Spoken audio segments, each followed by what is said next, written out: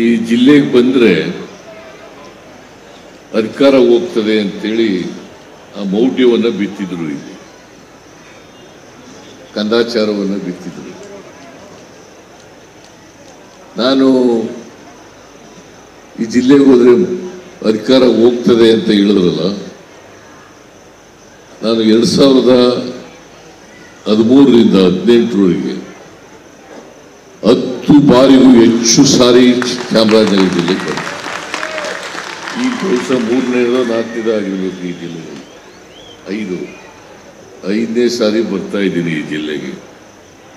ನನಗೆ ಈ ಜಿಲ್ಲೆಗೆ ಬಂದಾಗೆಲ್ಲ ನನ್ನ ಕುರ್ಚಿ ಗಟ್ಟಿಯಾಗ್ತದೆ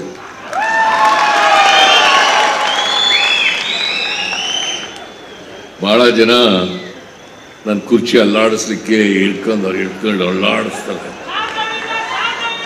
ಏನು ಮಾಡೋಕ್ಕಾಗಲ್ಲ. ಏನು ಮಾಡೋಕ್ಕಾಗಲ್ಲ. ಮಂಜುನಾಥ್, ಬಹಳ ಜನ ಅಲ್ಲ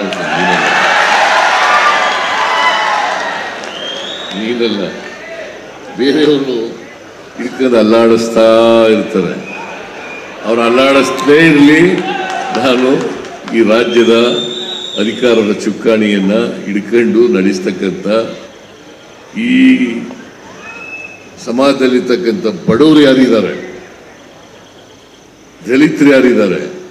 ಅಲ್ಪಸಂಖ್ಯಾತರು ಯಾರಿದ್ದಾರೆ? ಹಿಂದುಳಿದವರು ಯಾರಿದ್ದಾರೆ? ರೈತರು ಯಾರಿದ್ದಾರೆ? ಮಹಿಳೆಯರು ಯಾರಿದ್ದಾರೆ? ಅವ್ರ ಪರವಾಗಿ ಕೆಲಸ ಮಾಡ್ತೇನೆ. ಅವರೆಲ್ಲ ಜನರು ಕೂಡ ನಮ್ಮ ಪರವಾಗಿ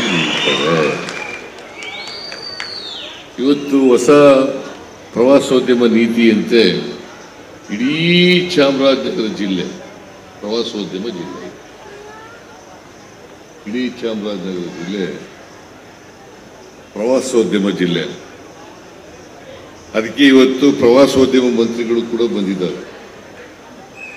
ನಾನು ಎಲ್ಲ ರೀತಿಯ ಸಹಕಾರವನ್ನು ಕೊಡ್ತೇನೆ.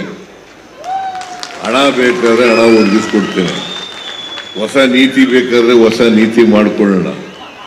ಚಾಮರಾಜನಗರ ಜಿಲ್ಲೆವನ್ನ మరి ಚಾಮರಾಜನಗರ ಜಿಲ್ಲೆ ಒಂದೇ ಅಲ್ಲ, ಎಲ್ಲೆಲ್ಲಿ ಉತ್ತರ ಕನ್ನಡ ಜಿಲ್ಲೆ, ಶಿವಮೊಗ್ಗ ಜಿಲ್ಲೆ, ಬೆಳಗಾಂ ಜಿಲ್ಲೆ, ಎಲ್ಲ ಜಿ, ಮೈಸೂರು ಜಿಲ್ಲೆ, ಎಲ್ಲ ಜಿಲ್ಲೆಗಳಲ್ಲೂ ಕೂಡ ಪ್ರವಾಸೋದ್ಯಮ ಬೆಳವಣಿಗೆ ಮಾಡಲಿಕ್ಕೆ ನಮ್ಮ ಸರ್ಕಾರ ಬದ್ಧವಾಗಿದೆ ಅಂತಕ್ಕಂಥ ಮಾತುಗಳನ್ನು ಈ ಸಂದರ್ಭದಲ್ಲಿ ಹೇಳಲಿಕ್ಕೆ ಬಯಸ್ತೇನೆ.